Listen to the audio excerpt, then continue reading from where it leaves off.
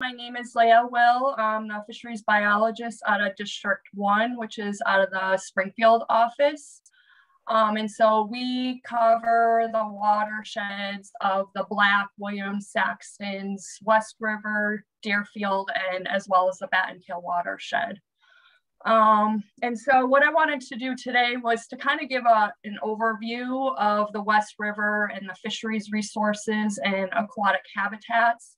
Um, we'll talk about some of the threats um, in general and then threats to the watershed and then some management recommendations that, that I have. A lot of the information that's in the PowerPoint um, is a was a report that I wrote up for Marie for her uh, basin plan, the Basin 11 plan. So a lot of this information will be in there if you wanted to refer to it later. So uh, as you may all know, the West River is a fairly large watershed. Um, it is the largest drainage area in our district uh, with 423 square miles. Uh, the river itself is 46 miles long. Um, and as you know, flows through the towns of Mount Holly, Weston, Londonderry, Jamaica, Townshend, Newfane, Dummerston, and Brattleboro. So quite the reach. So I like to put things in buckets and uh, literally. Um, and so with this, I, I kind of put this into different categories in terms of habitat type. Um, so some of the major features that I would consider is the main stem um, West River. And then obviously you have a lot of tributaries flowing into the into the west. Um, you know, upstream of Londonderry, you've got Flood Brook, Utley Brook, Greendale Brook. Um, and then as you move further down, you've got Ball Mountain Brook. Um, downstream of Townshend, you've got Turkey Mountain Brook. Um, and on the Rock River as well, and the Winhall River, some of the larger tributaries. Um, and then moving on from there, we have some impoundments, and this is more or less Ball Mountain in Townshend, uh, where there's large uh, flood control dams that are that are regulated by the Army Corps of Engineers. Um, when we say an impoundment, that means that it you know alter alters that riverine habitat, so it, it takes it more from a river and turns it more into a pond, uh, what we would refer to as sort of lentic flat water habitat. Um, that tends to favor more of your pond species rather than riverine species like your trout. Um, I don't know if you folks know, but if back in 2014, I think it was, the um, these flood control dams were retrofitted for hydro operations. Um, and so with that, I had asked the hydro to um, install a downstream bypass facility to protect brook trout um, or trout or any species that encounters the project because those turbines um, are fairly small and they're fast and they cause high mortality. If a fish were to go through the turbine, um, they likely would not survive. Um, and in the FERC license, the downstream bypass system was slated for Atlantic salmon, um, but the Atlantic salmon program ended in 2013. So um, we had just asked them to continue that downstream bypass system for those fish species. Uh, moving on to ponds, uh, these are some more uh, warm water ponds. I would consider them to be warm water fisheries, more bass, perch, um, your centrarchids such as uh, pumpkin seed and bluegill um, and Gale Meadows and Lowell Lake. And then we have another unique feature um, at the mouth, which I ter um, term a setback uh, retreat meadows. We get we have connectivity to the Connecticut River, so we get northern pike. It's a very popular fishery. Um, it is influenced by the operations at Vernon in terms of impounding the Connecticut River, but also the flows coming down from the West River.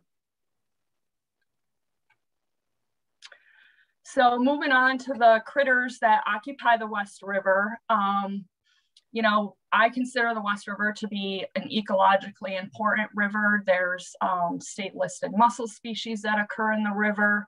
Um, on the top right is an American shad.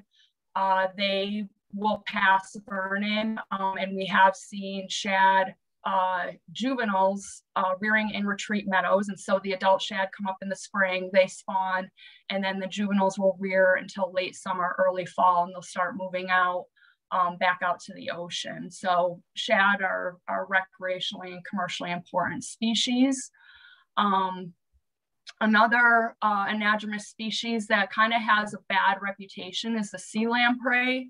Um, it has a bad reputation because of the nuisance population over in Champlain. However, in the Connecticut River drainage, uh, they are a native species. They're a primitive species that's been around for 350 million years. They will move up um, same time around the shad does in the in usually mid to late May through mid June. Um, they come in from the ocean as adults. They spawn in the tributaries, including the West River up to Townshend Dam. We've been doing some sea lamprey spawning surveys and we have some telemetry data that shows that they do come up to Townshend Dam and they spawn below. Once they spawn, they, they die and those carcasses provide really important uh, marine derived nutrients to the system. Uh, and Maine has done a lot of research showing that those nutrients actually um, help with the local productivity of, of the river that they're in. Uh, we've also got American eel in the bottom right-hand corner. Another uh, primitive species, a species of greatest conservation need. They typically uh, will occupy um, ponds that are throughout the drainage basin. Uh, so we see them in Weatherhead Hall. They have historically been noted in the main stem of the West River, but they're not gonna be able to get past Townshend Dam. Um, and then we have your brook trout. Um, we don't see a ton of them in the main stem. The main stem's too warm, uh, but we do uh, see them in the tributaries. And I'm gonna show you guys some data that we have. Um, we also have brown trout and then we stock rainbow trout in Townshend Dam and then downstream of Ball Mountain Dam um, in the Jamaica State Park. And then we have your other, you know, cyprinids, uh, black nose dace, long nose dace, and so on and so forth.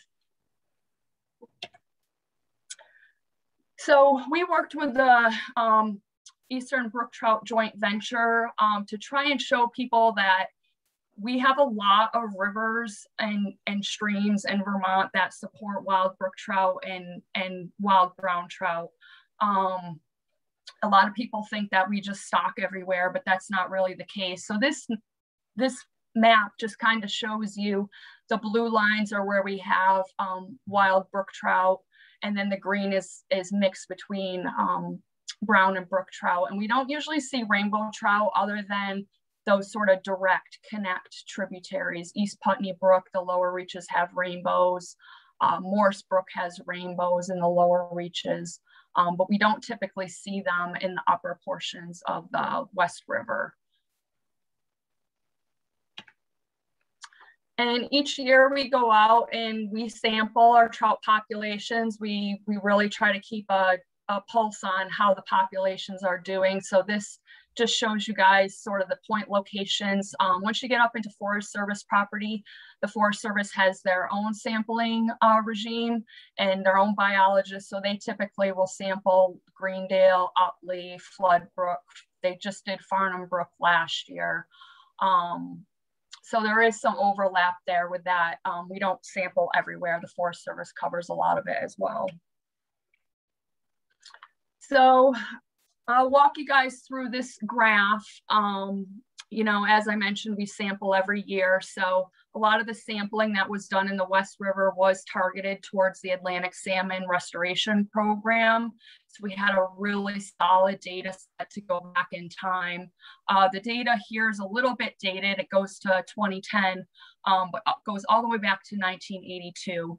And so on the um, y-axis is our number of trout per mile. So this is just an estimate of the population.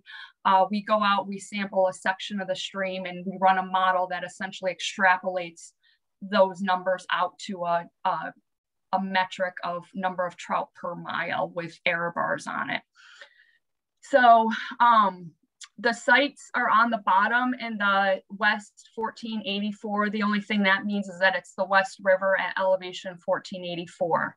So I did this um, you know, you have your upper west reaches and then your lower west reaches. So West 463 is going to be lower in the watershed. And so you can see even the upper reaches, West 4, 1426, you sort of see this um, decline as the years go by. And I think a lot of this has to do with the warming water temperatures that are occurring in the main stem.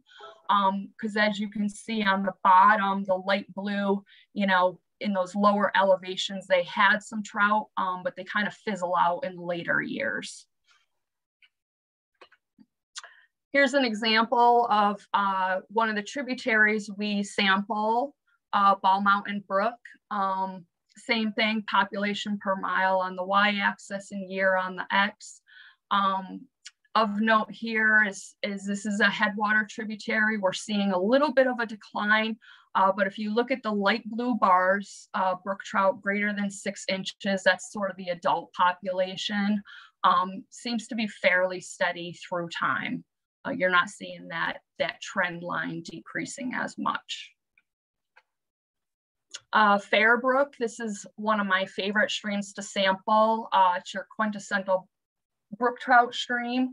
Um, same thing here, year on the bottom uh, with your population per mile. And this, this stream, we also monitor for stream temperatures. And this is the one that I consider to be a constant cold. Um, so we don't see a lot of daily fluctuations in temperature. And we also don't see a lot of uh, seasonal variation. It tends to just stay cold um, throughout the summer, which is exactly what brook trout need. And then this is just another similar uh, stream, Baker Brook. This is a little more lower in elevation. Again, you see your uh, greater than six inches tend to be fairly stable. We're starting to see a little bit of decline. Um, but one thing I do want to note is you see there's a lot of annual variability as well. Um, these trout populations tend to fluctuate depending on last year was horrible, it was so dry. Um, so if you have a, a, cold, wet winter with a, a good wet summer, you know, those trout populations will come back. Um, this is just some temperature monitoring data. Um, I'll walk you through these graphs. Uh, this is a box whisker plot. And so the whiskers are gonna be your lowest and highest observation. The line in the middle is your median. So what I just pay attention to is sort of that spread of the box and then where that box lays on the graph. And so you can see Fairbrook uh, temperatures, you know, from 2015 to 2020, you know, we're starting to see things creep up slowly. Um, it's not a drastic, there's annual variability, but we are seeing a little bit of increases there, uh, similar to the Rock River, a little bit of an increase in, in 2020, but not super bad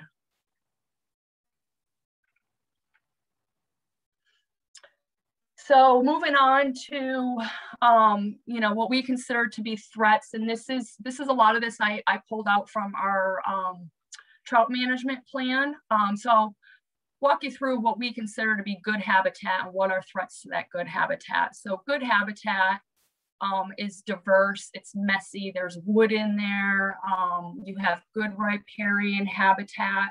Um, the picture on the right you can see a step pool sequence in those pools is where your large, larger adult trout are going to hang out and feed, whereas you have shallow margins where your juveniles are going to rear because that's where they're not going to get predated upon. So you want to have this sort of complexity with deep water, shallow water, pool riffle run sequence, and the messier the better.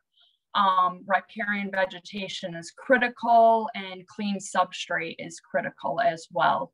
Um, and habitat needs to be connected. Um, we know that especially with climate change, these colder tributary streams are becoming more and more important. Having access to them is going to become more and more important as things continue to warm up. So we've been working really hard uh, to get culverts replaced for AOP, or we're doing retrofitting on a lot of them now um, to get them retrofitted so that you know they can they can pass fish. So in, in terms of threats, you know, increased water temperatures, uh, water quality is huge, um, sedimentation, physical habitat alteration. We saw a lot of this um, after Irene. I'll show you some pictures of that coming up.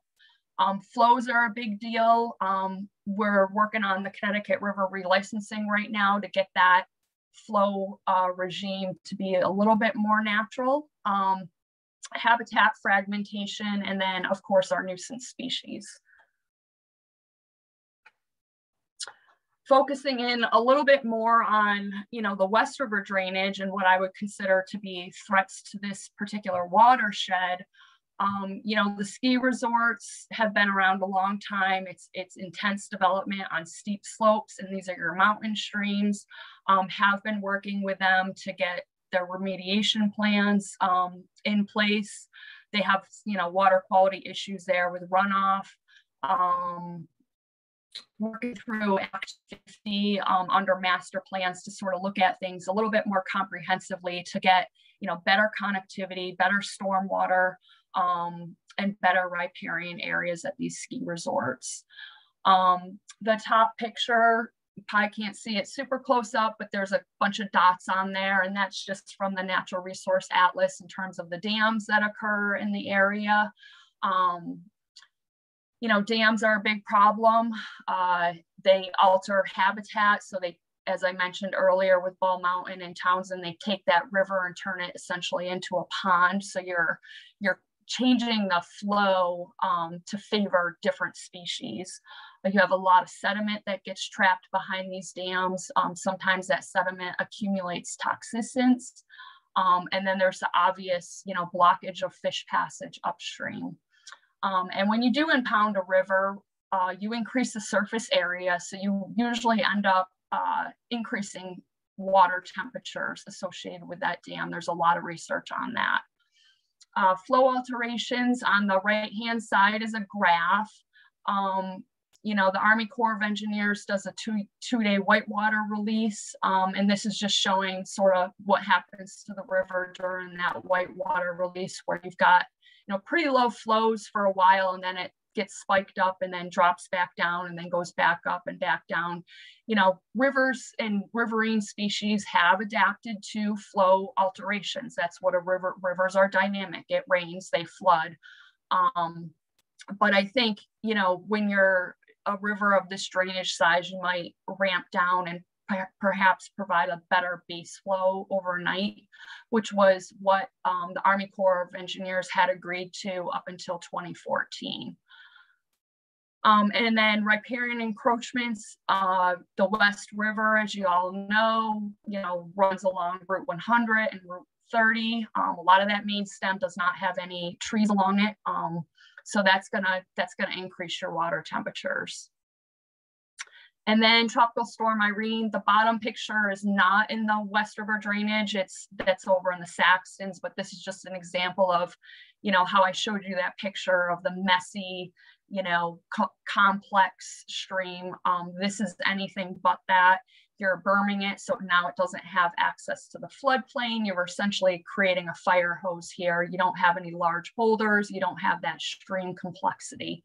It's just degraded. So some, some things that we are trying to work on um, is to protect and restore riparian corridors. We don't have jurisdiction over private lands for, you know, keeping trees along the river. So we've been trying to do a lot of outreach with that, um, work with a lot of partners um, to work with our state lands for riparian areas. Um, we're working to improve aquatic habitat connectivity. Um, as I mentioned, that's just critical um, improving flood resiliency. And a lot of this is, you know, getting our culverts adequately sized, getting that floodplain access um, and restoring post-Irene impacts has been, has been a priority. Uh, we're trying to promote the natural flow regime wherever we have, you know, regulated hydro-related flows or flood control flows.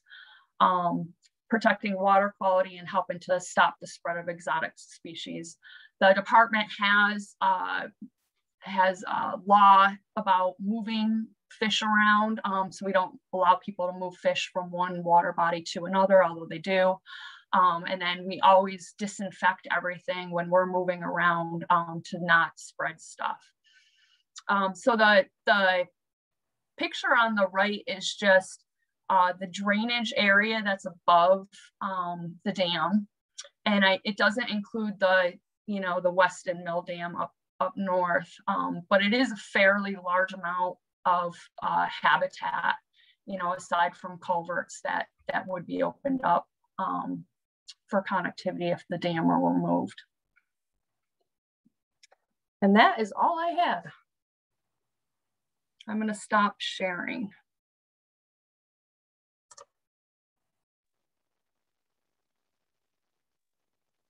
Thanks, Lael. I have a quick question.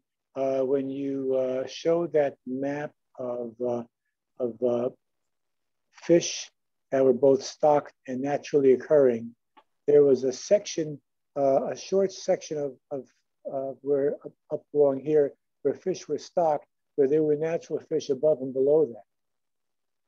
It was just below the only, so we, I think you're referring to, we used to stock the um, Weston Mill Pond upstream of it.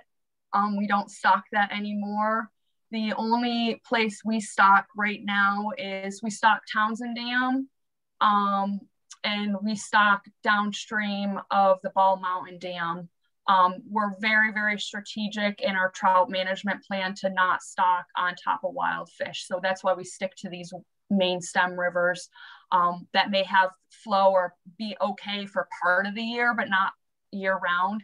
So that's why we only stock those reaches. Okay. All right, Marie. Oh, sorry. Somebody else have a question? No. All right, Marie, why don't you take over? Marie Caduto is our district uh, watershed manager for the Department of Environmental Conservation. Um, are you seeing my screen? It's not coming up as yes. shared. Yes, it is. Okay, good. Thanks. So, hi. Um, glad you're all with us tonight. I'm Marie Caduto. I'm what's called a watershed planner for this region. I work for the Department of Environmental Conservation, um, and I, I cover the West Williams and Saxtons River, among others, for watershed planning and um, basically water quality project improvement watershed restoration work. Uh, so I do I do Londonderry as well. Uh, so as Lael kind of gave the, the broader overview of the watershed, I'm going to focus down onto this particular um, piece of the watershed. So I'll go into that. I know it's coming along a little bit slowly. And let's see if it's gonna, there we go. So one thing I can say about Londonderry, it's got a nice set of wetlands. Um, if you look at all the, the olive green and the bright green, those are all wetlands. The red squares are, and the green squares like down here are all vernal pools. And I, I give the town a lot of credit for getting all these on the map because they can't be protected if we don't know they're there. So whatever work the town has done to document all these wetlands, um, bravo, because that's how that's how we know that they're there and that our wetlands program um, then can can confirm that they're there and when development projects come up can make sure those those wetlands are protected. So um, good job. I'm going to focus down onto this particular wetland, uh, which is here in the grand scheme of the town. And when you focus in on that, you know, you, you think about what a wetland is, and there's all different kinds of wetlands. So as the program is defined, it's a place where the water and the land meet. And the, the key piece is that the, the soils, the, the land is saturated for even just a short period of time over the year, but it is saturated for some time over the year. That's kind of what determines a wetland. And we call wetlands all kinds of things. We call them ponds, like the mill pond. We call them bogs and fens and vernal pools. Even little wet spots in the forest where groundwater seeps out um, and, and all you see is a small wet patch at certain times of year. Those are indeed wetlands. And the way we determine that is we use three piece, three wetland identification pieces. And that's the first one is the hydrology, the water. It does have to be saturated for a couple of weeks a year to become a wetland, to show the other characteristics of a wetland. The second piece is the plants. There are very specific types of plants, as you know, um, that grow in wetlands. They don't grow in uplands. They can deal with the fact that all the air spaces in the soil are taken up with water. Um, there's very little oxygen in those soils. So that, that produces a very specific and unique set of plants that will grow in wetlands. And the last piece is the soils themselves, because when soils are, are consistently saturated, they, they form different characteristics. And we look at those soils and to determine whether or not something is in fact a wetland, it has to have all three of these characteristics. So, so if you're ever doing a project and the wetlands biologist says, no, I can't come out, it's probably because there's no plants to look at. You know, it's, it's January and they're covered with snow. Um, so there, there's only particular times of year that you can really do a wetland determination um, and find out what's really there because you have to be able to see those plants we base our protections a lot and our values on, on what we call functions and values of wetlands. And there are a lot of these. We use wetlands function and, and provide us basically those ecological services of storing water during floods. They hold back a lot of water. They filter that water as it's coming in filled with sediment and nutrients that those wetland plants are going to take up those nutrients. They're going to allow the sediments to settle out and accumulate as Lael was talking about, they provide really good fish habitat and habitat for other types of wildlife that are very unique to wetlands. Because of that association, you know, very particular plants, there are a lot of rare and endangered and threatened species that, that go along with wetlands. So those are, those are important for us to, to be looking at. They call them exemplary communities because you, you get something like down in Vernon where there's a sweet gum bog, you know, there's, and all kinds of very specific types. Lowell Lake has a fen at one end and a bog at the other end. You know, there are very specific types of wetlands.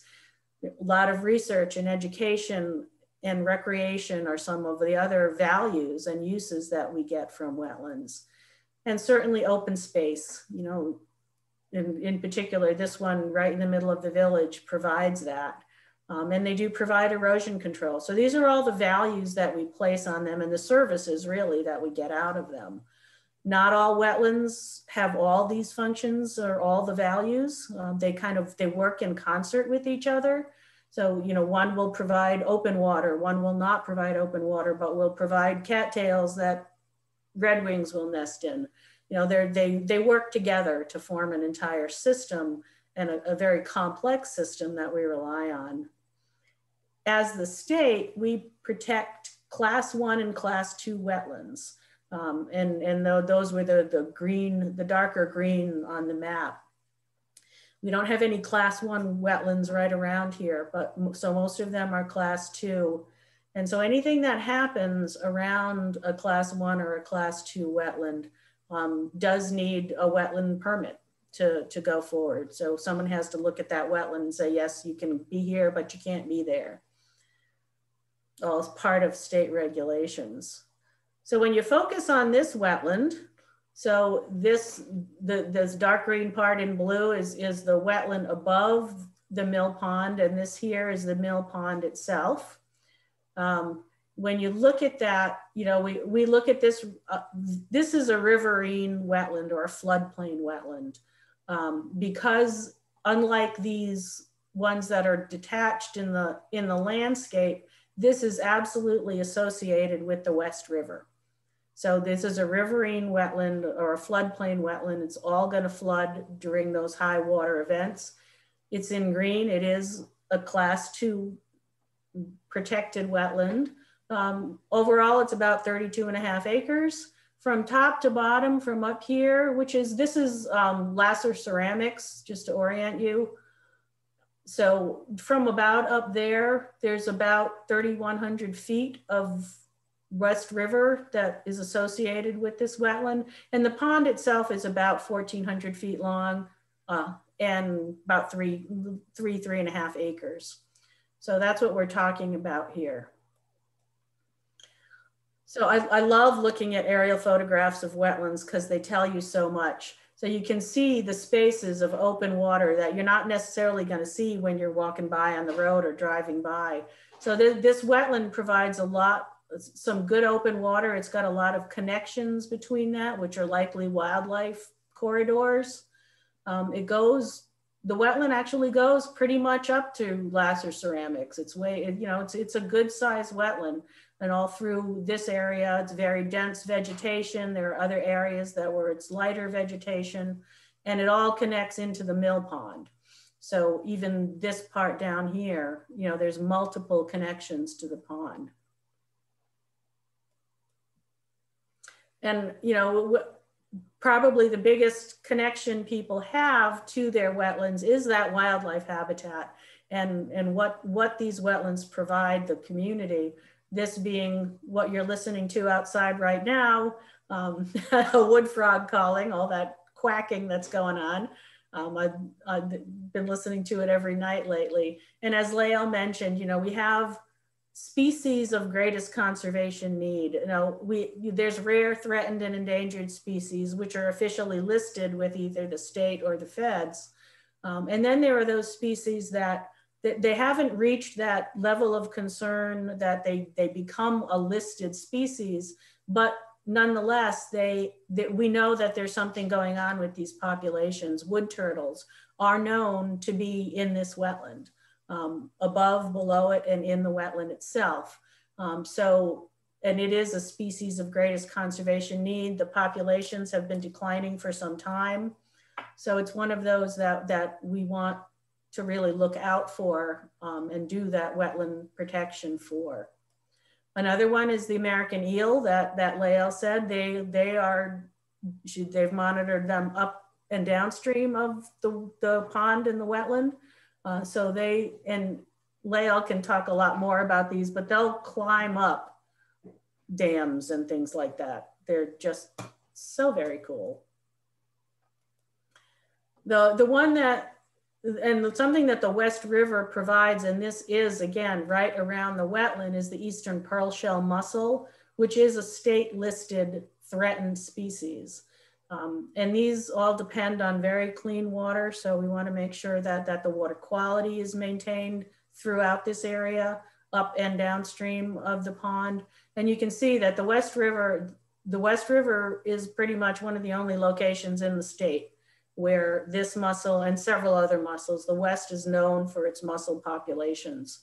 Um, and you can see that, that, that right in this region, there's a whole mess of them. So the, these are species that, that are right in town um, that you want to be concerned about. And when you talk about that, you know, being a, a complex of wetlands, this is the, the wetland we're talking about, Lowell Lake, and all these wetlands in between. So there is movement of all sorts of species through this system. And the one that I focus on, I'm a birder, so I have to talk about birds. Um, and while we don't have a species list for the mill pond and the wetland, we do have one for Lowell Lake, which is very close by. 76 different bird species have been documented on Lowell Lake. Things that you would expect on, on lakes and wetlands, bald eagles, great blue herons, wood ducks, um, but some things that you wouldn't necessarily, white-winged scoters, great egrets, which are like the size of great blue herons, but all white. Um, Blackburnian warblers, and I, I have to put in my favorite, which is the chestnut-sided warbler. They're just so pretty. Um, so, you know, and if they're if these are in Lowell Lake, you can be sure that they're using the pond and the wetland as habitat as well. Look for these. The spring salamanders so what this is saying that spring salamanders are documented in wetlands all around Londonderry. but nobody's reported them from Londonderry. And the same thing for pickerel frogs. Well, you're surrounded by them, but nobody's officially documented them in Londonderry. So keep your eyes open. If you're hanging out around the wetland and walking around and listening to frogs, um, take a look at what they are. Uh, this is from the Vermont Herp Atlas, which is Rep Reptile and Amphibian Atlas. Uh, it's a great resource and it documents and, and anytime, you know, I come across a wood turtle, I take a picture of it and I send it in. So, so we know where these populations are um, and where, you know, we need to do that kind of habitat protection. But these are right around you. They've got to be there. And, and again, one of the things Lael mentioned is that aquatic organism passage. Uh, there's only one culvert like directly associated with the wetland. Um, obviously the dam below it is, is a, an aquatic organism issue, but this culvert, which is right by the, the state garage, it sounds like it's probably okay. It's four feet wide, which is not that small a culvert. Um, however, when you look at the actual size it needs to be, it's only 37% of the size the culvert really needs to be to accommodate the water in the river. And this isn't even that big a tributary and it still would need a 12 foot culvert to pass all the flow. And, and the reason that's a concern is because as, as Lael was talking about, the temperatures certainly in the pond, because the pond is so shallow, and in the wetland itself, which is totally exposed to the sun, is going to warm up. That water is going to get pretty hot. And, and you know, wetlands are fish spawning and fish rearing areas. So during the summertime, when that water gets really hot, those fish are going to look for someplace cooler to go. And if they can't get through this culvert and go up the stream to that cooler, shady, messy habitat um, that Lael was referring to, it's going to be too warm for them. The West River going upstream is probably still going to be too warm for quite a ways. And I've got a picture of that too. Um, so, so these culverts and, and replacing those culverts, so they really allow aquatic organisms, the fish and the salamanders and the frogs um, to move up and down through that as they're looking for the right temperatures and the right habitat is really important. When, when you look at the wetland itself, there are a few things that, that you know, you'll see. This is all Japanese knotweed, um, which obviously I'm sure many of you know about, very invasive, totally takes over habitat at least it's still supporting a great blue heron over here. um, and the, I know I've also noticed a lot of honeysuckle around the area and that's not good either. Excuse me. So this is, this is Lasser uh, ceramics. So this is, as you're driving south towards the intersection and towards the dam, this is the West River coming in. This is the head of the wetland right here. And you can see just from this illustration, all the sediment that's accumulated in this reach of the river. Um, and, and some of that is because it's coming downstream um, and, and it's flat here, so things are naturally gonna settle out. But the wetland itself is going to slow the flow down and drop the sediment and the dam obviously is gonna accumulate that sediment. So while all of this should be that clean substrate that's you know water passing over and washing the sediments downstream all the time um, it's even way back here which is probably almost three quarters of a mile up from from route 11 um, it's already accumulating sediment back here. So that that is certainly an issue that the sediment backs up And the other thing I noticed, um, I, I actually drove through Londonderry just last weekend, so it was great. I got to take good pictures. um, and this was, this is just where, you know, where there are some road runoff issues. There's gravel and sediment from the road, and this is obviously Mill Pond. itself, which is getting some of that runoff from one of the pull-offs right at the intersection of Jerry, um, the, of the, the road. And this is again, right along the, the wetland itself. So, you know, there, there are certainly things that, that could be looked at and, and addressed. Um, in, in so many ways, it's, it's a nice, it's a nice little wetland. Um, it provides some good habitat. It is, and we do have to keep in mind that it is a man-made wetland in a lot of cases because the dam is, is holding water back. Um, but it, it is providing some nice habitat and some, some great open space and bird habitat and amphibian habitat. So it, it's a neat, it's a very neat wetland. And that, those are, that's what I had. And I'm glad to talk about any of the other things. I have some other pictures if people want to get into it.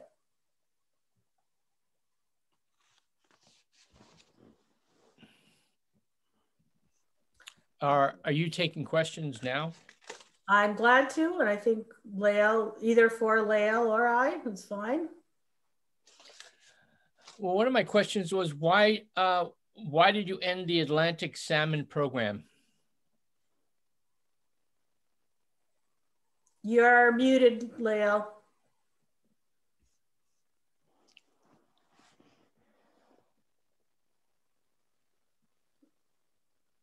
doesn't want to unmute. Sorry, my when you stopped sharing, then my PowerPoint completely took over and I couldn't get to Zoom. Whatever. Um, so what was the question? The Atlantic Salmon Program? Yeah, how come you ended it? I didn't end it. It's well, above my pay grade. um, so the the program was ended by the um, Fish and Wildlife Service because they were at the White River hatchery um, that they used to produce the salmon got flooded um, during Irene, so the hatchery blew out. Um, but the Fish and Wildlife Service um, made the decision to end the program because of the lack of return. So, you know, huge amount of effort um, over the years. It was a 40 year program of stocking these salmon um, and not seeing the adults returning. So millions of salmon going out, tons of, you know, volunteer hours and coordinating the stocking to have a handful of fish returning. The cost to benefit ratio just wasn't there. Um, you know, I suspect the way the program was run, you know, taking the adults, spawning them out, putting the fish out to rear. I've done restoration projects on the West Coast that were successful, and it was all hinged around removing barriers let the fish do their thing, let them spawn, let them rear, let them survive. You know, the tributaries that are going to have, you know, the best survival are going to support the population, but they need to complete their life cycle. So that was sort of the the approach out on the west coast was let's restore the habitat and let the fish do their thing. Um, but in New England, there's so many dams. Uh, you know, to get that that level, we'd have to do a lot of work. Thank so you. that's why the program was uh, ended. Okay, we have a question in the chat. Somebody wants to know, what do you recommend re taking the dam down in Londonderry? Um, I, I, I would recommend that the dam be taken down and, and I'm glad to get into that if people want to. I do have some, some slides of the dam and what's going on with the dam if you're interested in seeing them. Um, I and I will second Marie on that. Um, you know, I, I wasn't super pointed in the presentation, but it has been a priority for us to get these rivers back to being rivers. You know, that's what we want to see. And Marie, as you talk about that, could you also talk about state regulations that will impact the existence of the dam? Sure. So, you know, when you when you start when you look at the dam itself, so the dam is here, and as I said, this is Lasser. So that that sediment, the dam is about 20 feet high. And if you these are topographic lines, these yellow lines, and if you follow that back, so the sediment is accumulating all the way back here from behind that dam. So that's a that's a a large habitat area to, to change from a river system to a wetland system and a lake system. It's a lot of area. When you look at the dam itself, so these are pictures that I took in 13 and 15. I haven't looked at it. Um, I haven't taken one of these shots in a while, but you can see that some of these, the yellow, the blue, and the green are the same, you know, over the years. And even in just two years, this has started to leak, this has started to leak. These are, are obviously very low water times of year. There's no water passing over the dam. And that's, be, you know, all that sediment is accumulated right to the top of that dam. and the dam is not in good shape. It's leaking like crazy. And that can be very dangerous. It's if something were to start, if if one of those rocks starts to go and comes out of that dam, um, that's what happened if you're familiar with the little park in Weston that we finally just removed the, the remnants of the dam that blew out in Irene. That was because of this kind of a situation. There was a, a hole in the dam and be, it got so bad and Irene put so much pressure on it that the whole thing went. Um, and I think I have noticed a shift, you know, I, when I, I started in 2012 and there was a lot of uh, hesitation with dam removal, but I think that that attitude has shifted because people are realizing the environmental impacts, but also the liability behind it and the fees associated with it. Um, you know, after Irene, when when dams blew out, they were not allowed to be rebuilt um, under our stream alteration rules. Um, it would not be allowed to get a permit to to rebuild a dam. So I think that the, the shift in attitude has changed over the years to be a little bit more open to the idea of, of dam removal. And this again, the drought in 2016 when the water was really, really low, um, you know, the water's pretty much pouring out of that, that dam. And this is what the mill pond looked like in 2016 during low water. There's there it's not really there's not really a pond left. It's a mud flat. Um, very little water. I looked at it just a few days ago, um, and there's you know eight, 12 inches of water in that whole pond. There's there's and the dam is 20 feet high, so there's 19 feet of sediment accumulated behind this dam.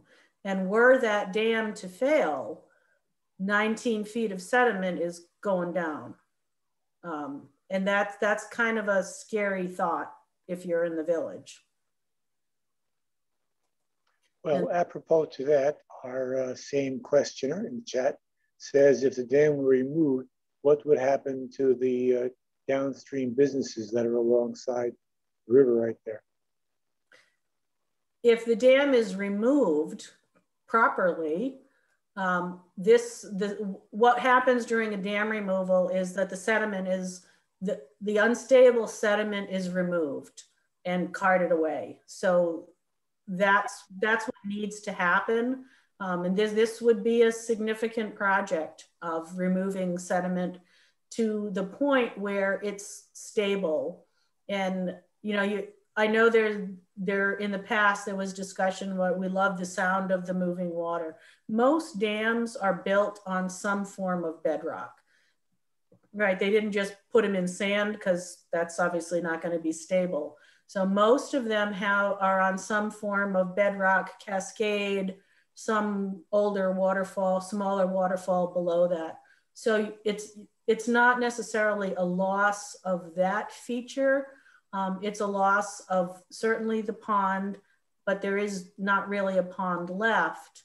And uh, I wanted to give an example of Sweet Pond in Guilford, which we had to, it's a state park. The dam was sliding off of that bedrock and had to be, um, the dam had to be removed or, or replaced because it was a public park. They ended up replacing it but this is what the pond, and this is a much larger pond. This is a 12 acre pond. Um, and that's what it looked like right after the dam got removed. Doesn't look very good. By that summer, the vegetation had already started to grow back. By May of 2018, this is what it looked like. And by August, you you wouldn't necessarily have even known there was a pond there. The chan, the stream channel had reformed. Um, and, you know, so a lot of people are concerned that there it's going to look like a big mud hole. Um, that's not the case. There's so much seed stock in that sediment and soil uh, that that vegetation immediately starts to grow back, and that's a good thing because it stabilizes the sediments um, that that would otherwise potentially move downstream. So they had a rare wetland plant in there too that they found at that sweet pond. that makes after after it started growing back. So, and, and the other thing um, that Erwin just mentioned is that state regulations now are, you know, there are new dam safety rules and the owner of the dam is now responsible for registering the dam with the state, having the dam inspected by a dam engineer um, to, to basically document that that dam is safe because as, as dams age the way they, you know, we've put them in, this dam was built before 1900, right? So it's been there a long time. It's got a lot of wear and tear on it. Again, if that dam or any dam on the landscape were to fail, somebody downstream is going to suffer the cost of that.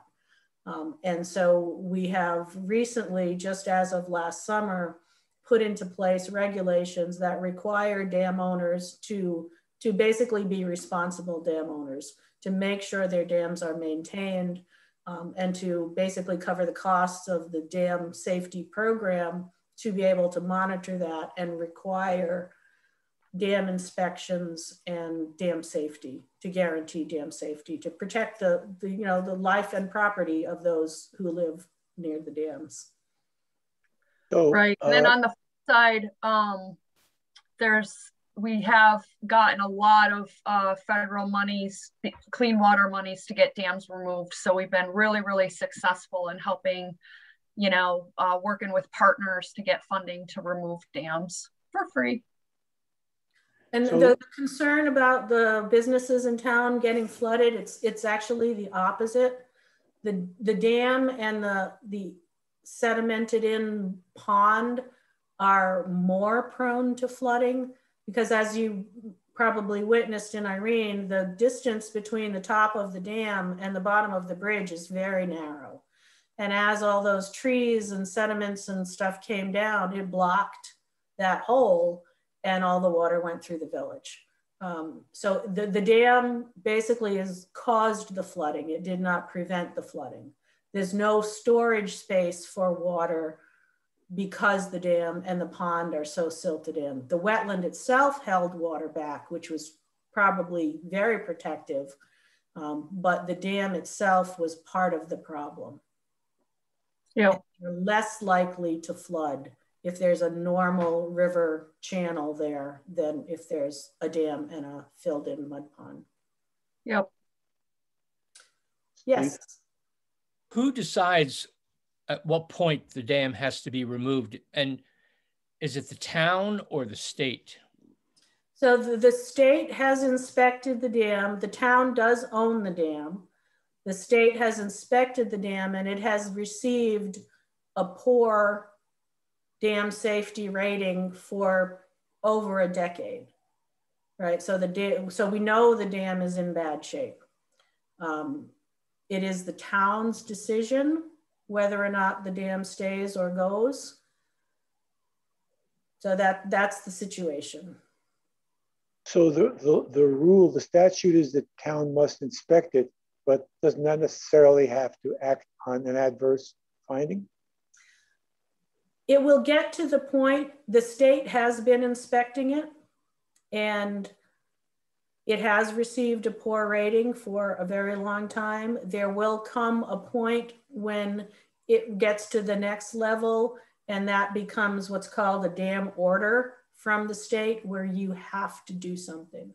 There are now a set of recommendations on what should be done at the dam to stabilize it so it doesn't fail.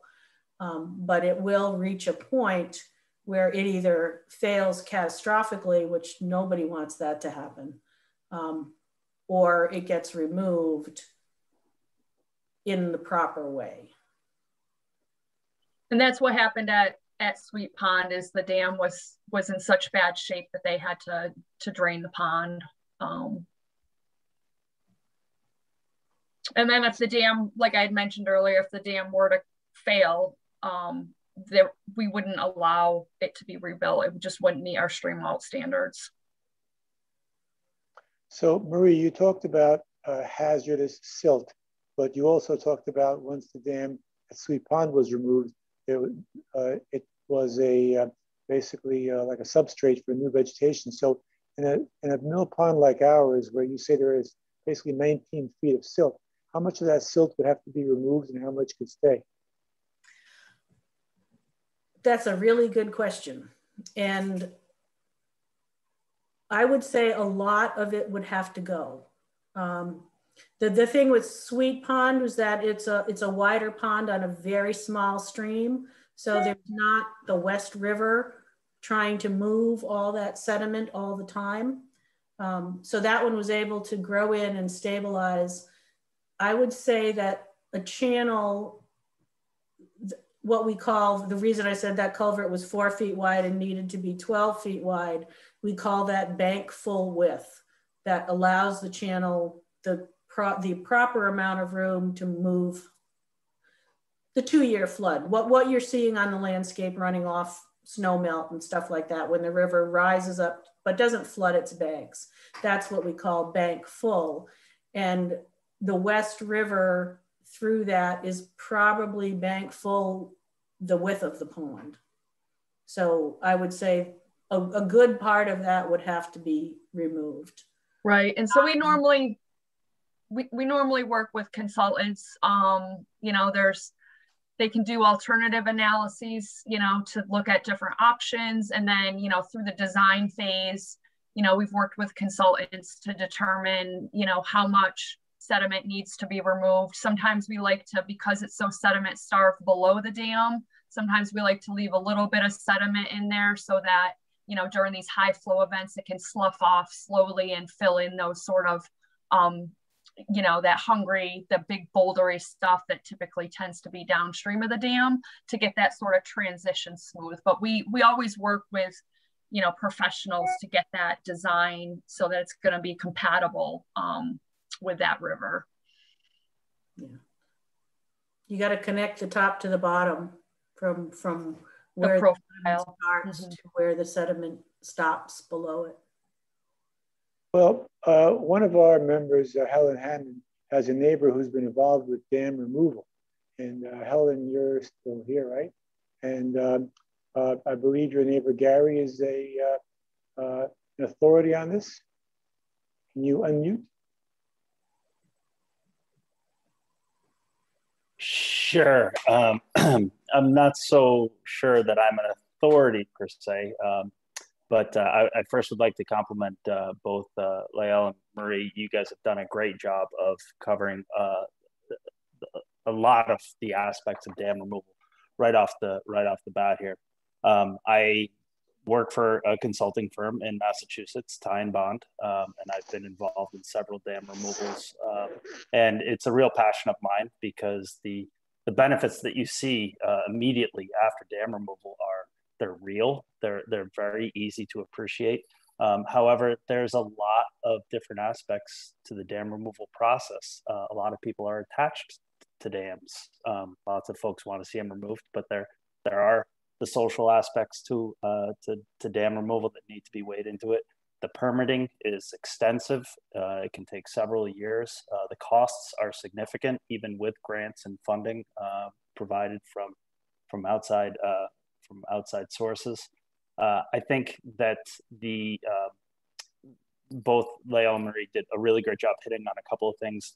Um, everybody has seen the mill pond now, like late August, where it's completely dried up and it's a real, um, it's a sight to behold. Um, and I can envision, you know, 10 years from now, if um, a uh, if folks really start to um, start to come up with a game plan, you you could you know look to um, really um, reshape how that whole area um, looks. Um, to speak to sediment management, there's options available to reuse that sediment along the uh, the banks of the river. Um, you can do some armament along the sides, uh, which I know some folks don't like to hear, but you know the the designs that go into this um, can can really reshape the, the that whole area along Route 11.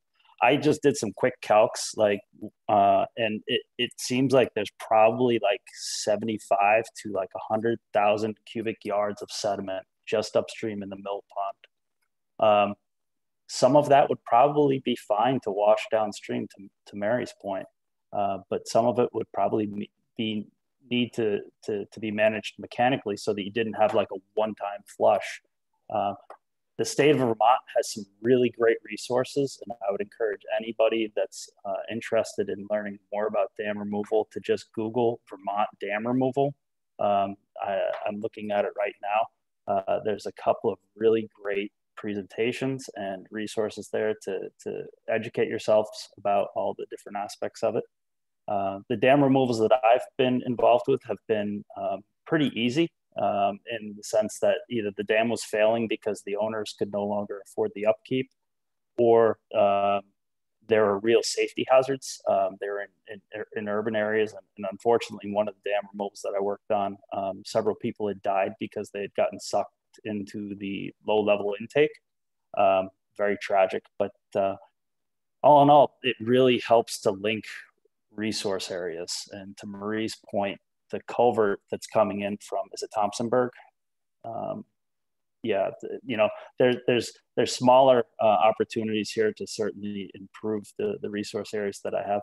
And one of the questions that I started typing out, um, but then just stopped, uh, that I had for Marie was, how does the state balance what would certainly be significant impacts to the wetlands upstream of Mill Pond in the impoundment still? How does the state balance that with you know a dam removal project that also has benefits yeah that we we have had lots and lots of internal discussions about that because when you remove the dam you're obviously changing the elevation of the the wetland upstream and it's going to change the wetland it's it's likely to make it smaller because you're not impounding that that whole elevation um, However, that is the, the natural condition, right? The, the, the original form of that wetland is likely to return. There won't be as much wetland, but that that's there's still going to be a wetland there.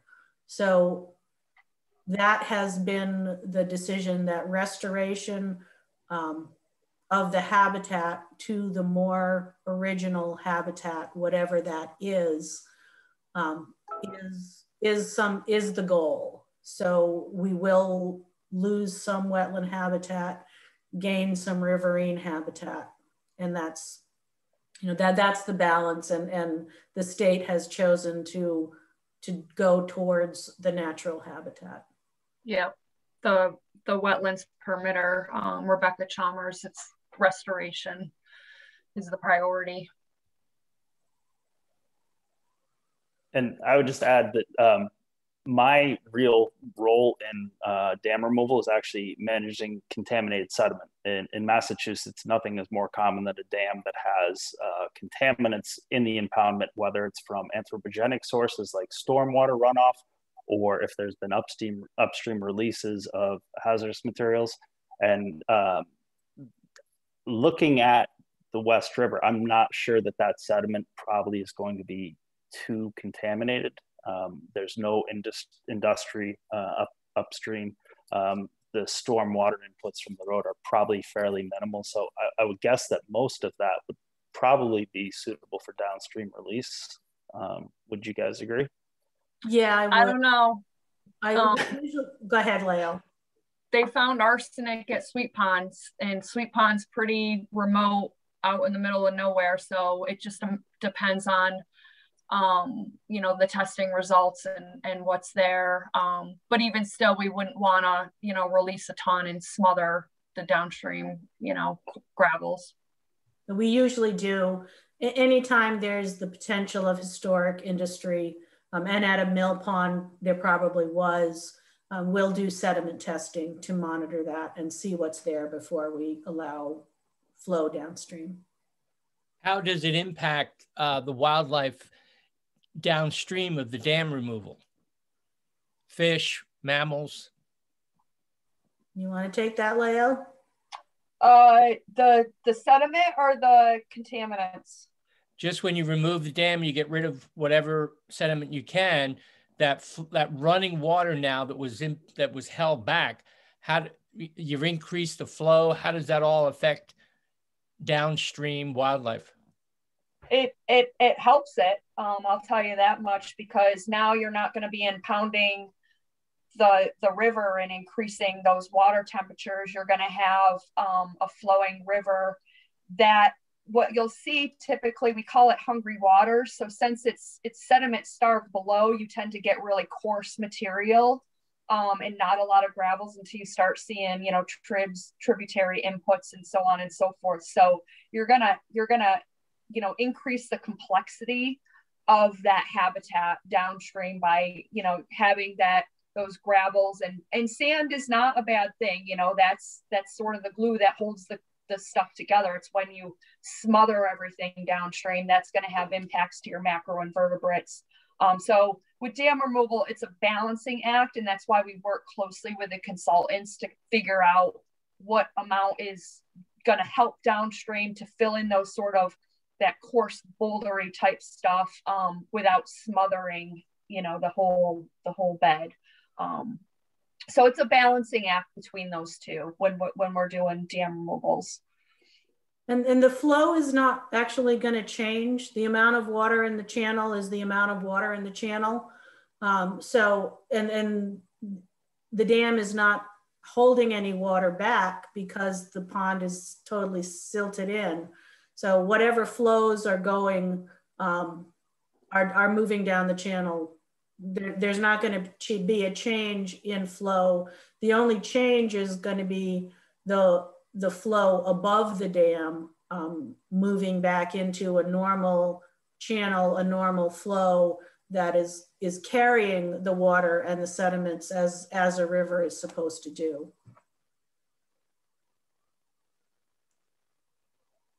So if the if the dam were removed and the ponds start to grow in, um, it looks like all that uh, um, all that knotweed was moved right in would you say? When we do this, we're, we're very conscious of that possibility. So yes, that would happen if unless if you just leave it on its own. Um, we didn't have that issue at Sweet Pond because there wasn't a, not a lot of knotweed up there. Um, but here it would be obviously a really big concern. So we would want to plant those margins, those newly exposed soils with, with native vegetation um, as quickly as possible and get that established so that it, it will at least compete with, um, not necessarily outcompete, and then and then monitor that over the next several years to keep the knotweed under control so the native plants are are able to be established. Knotweed doesn't like to grow in the shade. So if you can get the native plants in there and up and growing, you have a better chance.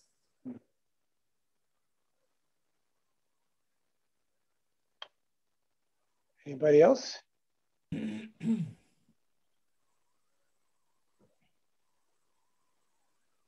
Marie or Lael, do you have anything else to add? No, I just really appreciate everybody um, showing up and for your attention and and for listening to us. Thank you. Lael, I have one last question. Um, how many undocumented dams are there versus the documented? So I think that they have been doing better with inventory. Um, I'm not dam safety, so we have a different, um, um, uh, not department, but a different sector that is under dam safety, under DEC. Um, and they are the ones that are responsible for all the inventory. And I'm sure there's we're finding new ones all the time. So um, you know, I'm sure there's a lot of undocumented dams out there, but they're the ones that are really responsible for that sort of inventory.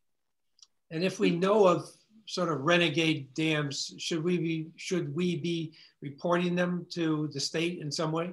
Absolutely. Mm-hmm. Yeah, tell me about it, or tell Lael about it. Um, the, a, a, photograph, a GPS point off of a map, that kind of stuff is where we're constantly updating that that database. We removed three dams last year, four dams, two, three of which were not ever mapped previous to taking. Some of the worst ones are the smallest ones. The, they're everywhere. There, there are big ones out there. There are small ones out there. Lots and lots of small ones on medium size and small tributaries. Um, and and again, we can't we can't take them out if we don't know they're there. They're like a Most nuisance. Of them are in bad shape. Right. Okay. Well, with that, I will uh, also before thank you, everybody. Before, before you leave, Erwin, I got two yes. things to say. Any river otters on the West River? I would say sure. Um, there got there've got to be. I've I've seen mink. Um, otters tend to to like you know the the margins, the setbacks, the lakes. Um, no, I would absolutely think there are there are otters around. They're just they're very secretive. They're not easy to find on the landscape. Right. Okay.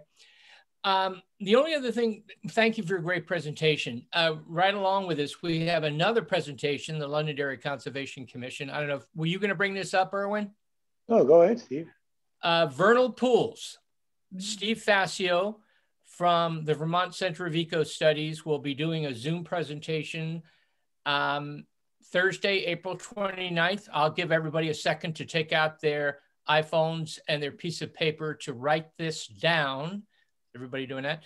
April 29th, Thursday at 7 p.m. Fascinating discussion about kind of what you guys, a little bit about talking, it's kind of a nice transition of what you've been talking about, how these small little pools around Windham County and across Vermont get filled with frog eggs and salamander eggs. And um, the one just down here on the West River that I walk just about every day dried up over the last two weeks because it's been so dry. So dry. And, and um, you know, can they come back um, once they dry up and they're full of eggs and they dry out? Is that gone for the season or can they return? So this will be kind of an interesting presentation, Zoom presentation on April 29th, 7 p.m vernal pools. And like this one, we'll be posting the uh, Zoom link and scheduling information on uh, Facebook and elsewhere for you to uh, capture. And also, um, uh, you can also send us your email address if anybody would like to be on our email distribution list. Uh, I'm also reminded uh, that I forgot to mention one of our neighbors, Larry Gubb, who lives across the road from Mill Pond, who I guess couldn't join us tonight uh, mention the following uh, species that he's observed over the years. He's seen snowy egret, snapping turtles, Canada geese, mink, beaver, and he thinks otter. So the otter is still a question mark. That's great. Okay, and uh, this uh, this talk, as all of them, will be on the Londonderry Conservation Commission uh, YouTube channel for yourselves to review or anybody to watch. And remember, it's not the Londonderry, New Hampshire Conservation Commission channel. Don't go there. We have our own. It says Vermont in the title. All right, everybody. Thanks very much again. And uh, good night to all of you. Thank you. Thanks. And thanks to our speakers, Marie and Lael. Thank you. Thank you. Bye-bye.